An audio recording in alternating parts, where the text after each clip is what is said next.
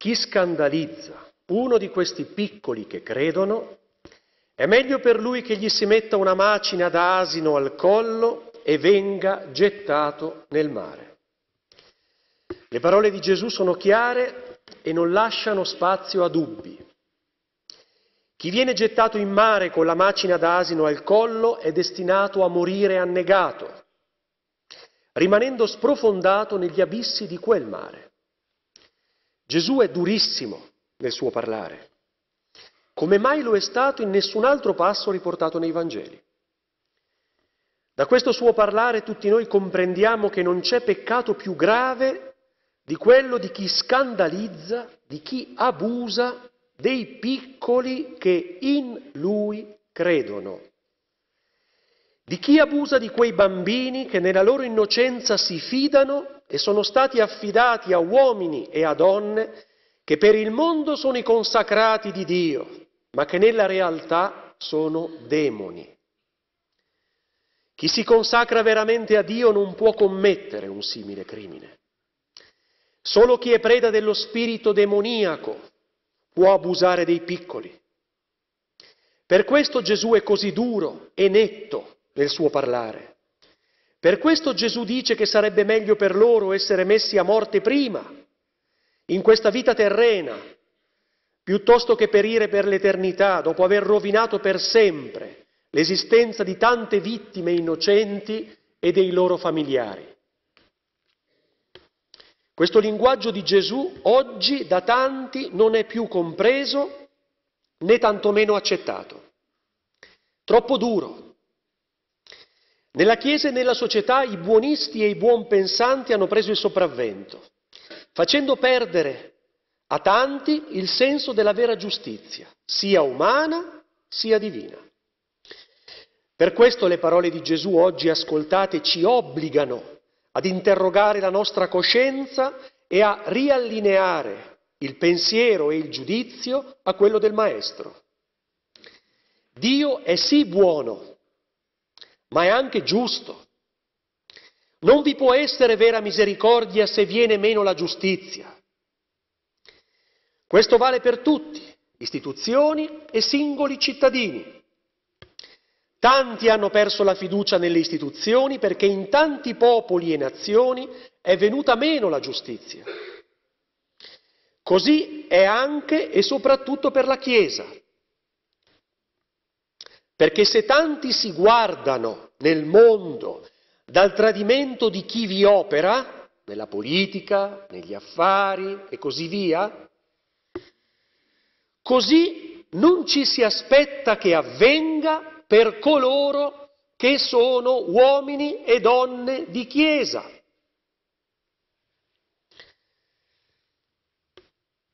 Ma l'abito, come sempre si dice, non fa il monaco. Si è prima uomini e poi cristiani. Questo vale per tutti. È il cuore e la volontà a fare la differenza, per tutti. L'abito può essere anche bianco, ma se il cuore è nero e la volontà è quella di fare il male, si cade e si perde l'amicizia con Dio, si perde l'alleanza con Dio. Questo ci insegna la storia. Nella Chiesa di Roma gli insegnamenti fondamentali di Gesù sono stati brutalmente calpestati. Quella casa ha toccato il fondo, ma nonostante ciò, con ipocrisia e arroganza continua a pontificare su ciò che fa comodo, mentre su ciò che non è comodo si preferisce fare silenzio e si dice che è meglio fare silenzio, pregare e fare silenzio. Ma quando si vuole parlare e fare la morale agli altri non si fa silenzio, si parla e come? dicendo a tutto e a tutti che cosa si deve fare e che cosa non si deve fare, impartendo lezioni a governi e a singoli cittadini, perché così abituati a fare, perché così abituati a governare tutto e tutti. Mentre al proprio interno si continua a commettere ogni abominio, ogni delitto, anche quello vergognoso contro i piccoli. Il cancro della pedofilia ha devastato l'intero corpo della Chiesa di Roma. Già con grandi difficoltà Giovanni Paolo II ha condotto la Chiesa nel terzo millennio. Prima di divenire pontefice, Benedetto XVI, dopo aver denunciato già prima le difficoltà che incontrava nel suo ruolo, nella Via Crucis del 2005, quella del Venerdì Santo, sotto il pontificato di Giovanni Paolo II, ha denunciato la sporcizia presente nella Chiesa e tra i sacerdoti, parlando già allora chiaramente del tradimento a Cristo che si consumava all'interno del cortile di Roma. Dopo questo, dopo il suo breve pontificato, si è dimesso, pensando che così facendo avrebbe aiutato la Chiesa di Roma a ripulirsi da quella sporcizia e a risollevarsi da quel tradimento.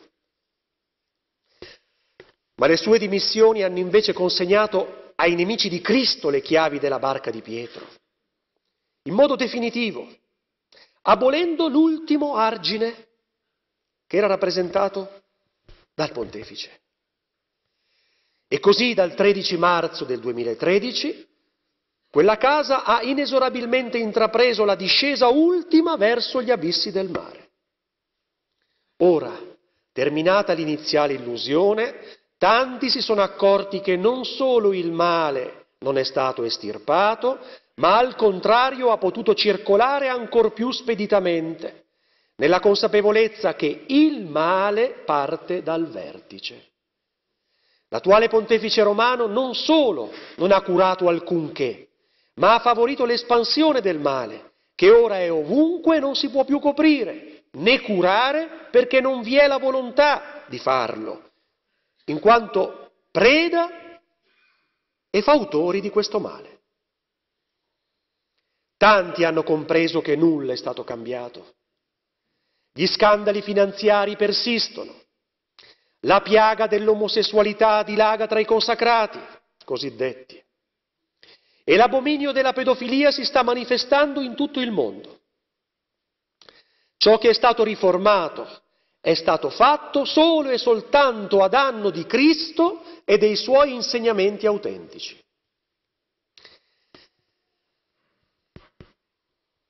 Ma ora nulla si può più nascondere e tutto è sempre più manifesto. In tutto il mondo tanti stanno iniziando a parlare per denunciare il marcio che è ovunque. Bambini abusati, suore abusati dai sacerdoti addirittura nei confessionali, L'abominio è totale.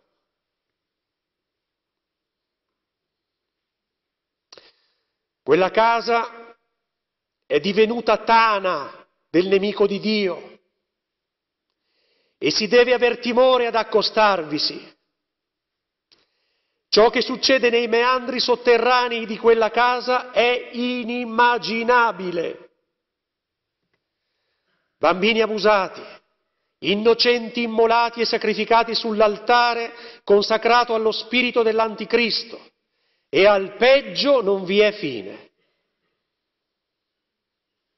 Per questo lo Spirito del Padre ha rivelato che vi sarebbe stato un tempo, ed è questo, che il suo popolo sarebbe dovuto uscire da Babilonia la Grande, dalla Chiesa di Roma, per non essere associati ai suoi peccati e ai suoi delitti.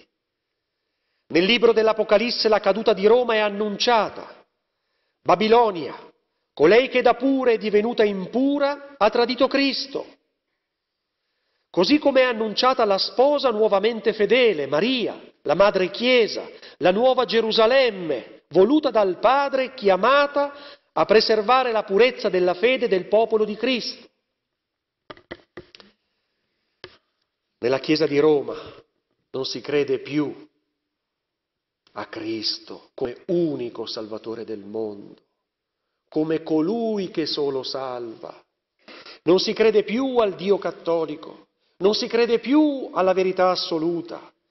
Chi viene dalla fine del mondo insegna una nuova religione, mondiale e inclusiva, dove tutti, cristiani, musulmani, ebrei, induisti, buddisti, tutti, sono allo stesso modo figli di Dio, considerati tali, quando invece nel Vangelo è scritto che solo chi riconosce Gesù come il figlio di Dio è da considerarsi figlio, gli altri sono e rimangono creature fin quando non si fanno battezzare nel nome del Padre, del Figlio e dello Spirito Santo. Ma in quella casa si dice che il comandamento a farsi battezzare, che è il proselitismo, è una solenne sciocchezza. Si dice che l'inferno non esiste. Si dice che Cristo si è fatto diavolo, divenendo brutto da fare schifo. E che la sua via crucis, sua, nostra via crucis, è la storia del fallimento di Dio. E l'ha detto nella sua lingua madre, il fracasso de Dios. Quindi non si è sbagliato a parlare. Da uomo e da cristiano vi chiedo, voi pensate che di fronte a tutto ciò il padre possa veramente rimanere fermo, senza reagire, senza difendere suo figlio e tutti i suoi figli vittime dell'abominio della pedofilia che va avanti da decenni, nonostante i richiami e gli ammonimenti che per tempo e nel tempo la Madre di Dio, pellegrina su questa terra, ha portato a tutti? Il Padre non è una statua, ha un cuore.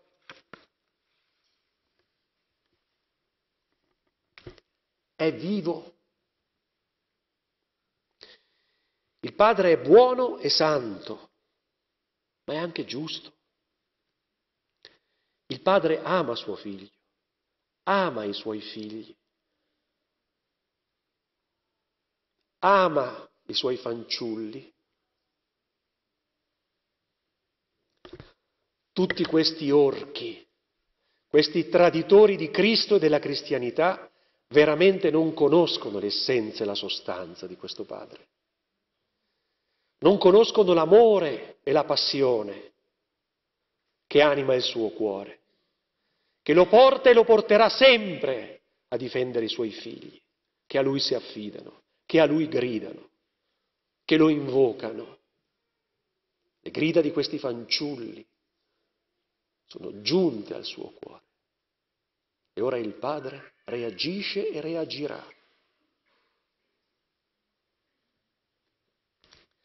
Ora chiedo a tanti che ascoltano e ascolteranno queste parole. Voi pensate veramente che quando i traditori di Cristo invocano il Padre dicendo ora Padre Santo noi ti preghiamo, Manda il tuo Spirito a santificare questi doni perché diventino il corpo e il sangue di Gesù Cristo. Voi pensate veramente che il Padre ancora possa esaudire quella preghiera e mandare il suo Spirito in quella casa? No. È giunto il tempo ed è questo in cui il Padre, come era stato profetizzato, chiede al suo popolo di uscire da Babilonia, perché in quella casa non vi è più il suo spirito. Il Padre ha ritirato il suo spirito da quella casa per rendere giustizia ai giusti. Quella casa non ha voluto tagliare le membra del suo corpo che hanno tradito Cristo, come Gesù ha ammonito di fare nel Vangelo oggi proclamato. Ma quella casa ha coperto, favorito e promosso chi ha commesso tali crimini abominevoli ad ogni livello, sacerdoti, vescovi, arcivescovi, cardinali e ora anche il pontefice. Ora è l'intera Chiesa di Roma ad essere coinvolta. Per questo il Padre ha ritirato il suo spirito da essa. Invano ora i suoi ministri invocano il Padre chiedendogli di mandare il suo spirito a santificare ciò che si fa. Ora in quella casa nessun sacramento è più validamente impartito. Senza lo Spirito Santo nulla è più santificato, battesimo, comunione, matrimonio, ordine. Nulla agli occhi del Padre è più valido. Questa è la punizione del Padre per quella casa, che ha tradito il Padre, il Figlio e lo Spirito Santo. E l'ira del Padre verso quella casa si manifesterà sempre più, nella speranza che anche la giustizia umana faccia il proprio corso e agisca con giustizia, senza più creare scorciatoie e favoritismi, nella speranza che dall'interno si faccia pulizia. Dall'interno nessuna pulizia è stato dimostrato che si fa. E allora si agisca anche umanamente per rendere giustizia ai giusti, anche umanamente. Questo tanti figli e tante famiglie chiedono a coloro che amministrano la giustizia, in questo paese e altrove. E nessuno si illuda che il problema è solo nell'uomo che viene dalla fine del mondo, come egli ha detto. Deposto quell'uomo ne arriverebbe un altro che porterà avanti tutto ciò che oramai purtroppo è divenuto sistema.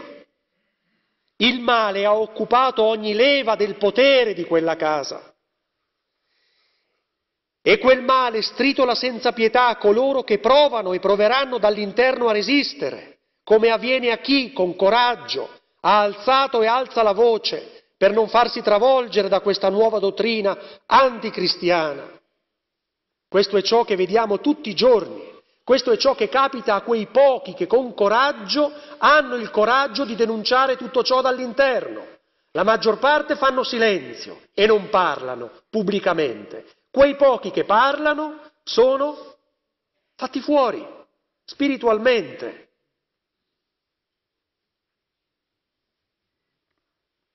e fosse solo quello. Il sistema è corrotto, irrimediabilmente. Senza l'aiuto del Padre quella casa non potrà risollevarsi. E nessuno può imporre al Padre la strada da seguire per risollevare la Chiesa di Cristo, perché il Padre l'ha già indicata la strada da seguire per risollevare la Chiesa di Cristo. Il Padre nel tempo e per tempo ha mandato nuovamente e direttamente suo figlio, qui, nell'isola bianca, nella terra d'amore, nella nuova Gerusalemme, dove il Padre raduna i suoi figli fedeli e tutti gli uomini e le donne di buona volontà, per donare loro la sua misericordia, che lenirà ogni ferita e farà nuovamente gustare a tutti la gioia di vivere in armonia con Cristo e Maria. Venite, voi tutti, che siete stati brutalizzati da tanti traditori e da tanti orchi, che nel nome di Dio hanno abusato della vostra fiducia e hanno violato la vostra intimità. Venite in questa terra d'amore per gustare la bontà paterna che nel bimbo divino si manifesta e sempre più si manifesterà per accogliere e ristorare tutti coloro che nonostante tutto in Cristo credono, per Cristo offrono e con Cristo vogliono vivere per l'eternità. E così sia.